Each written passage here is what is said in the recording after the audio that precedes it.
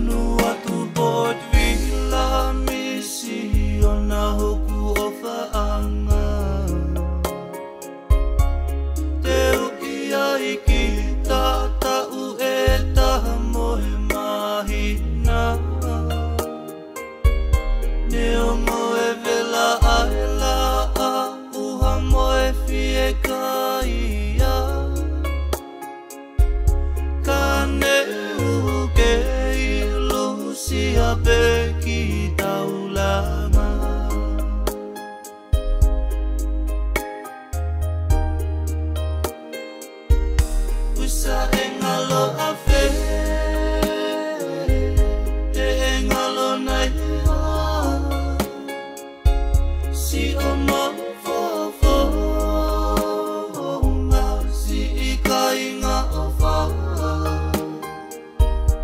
siete lele ta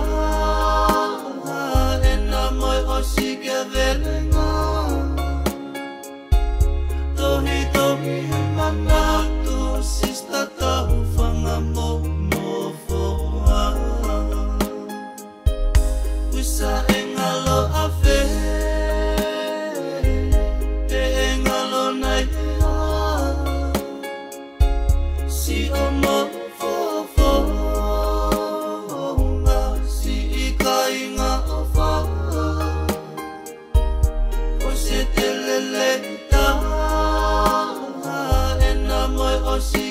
Amen.